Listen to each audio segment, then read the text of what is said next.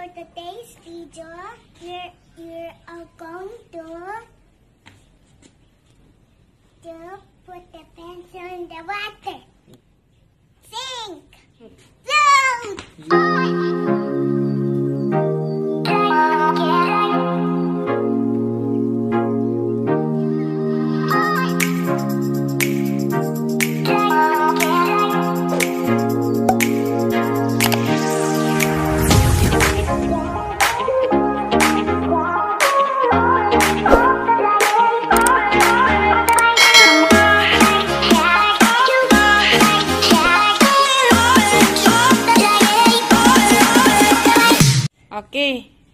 Start now.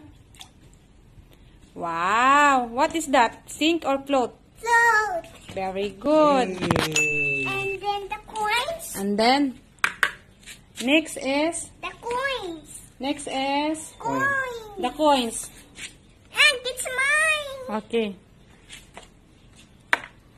It is sink or float. Ay, what is that?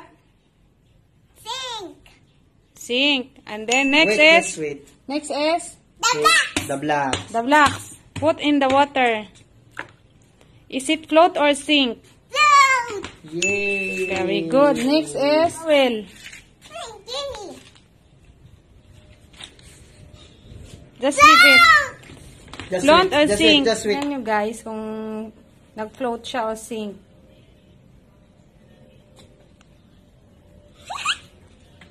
Is it floating or sink?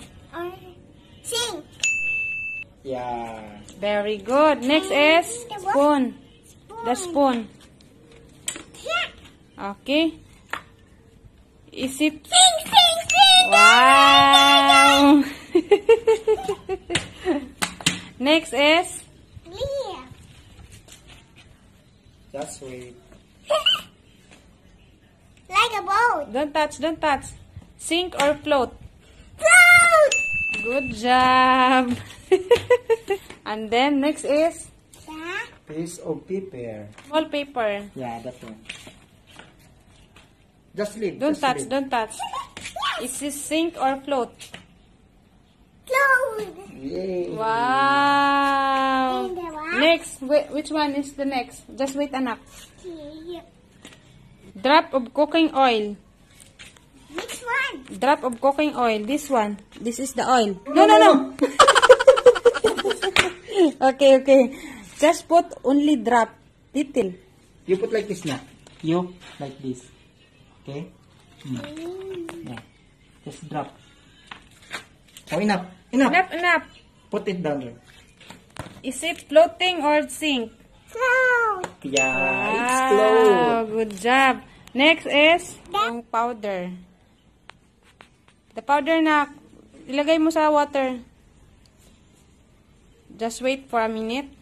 Okay. Kaping mainit.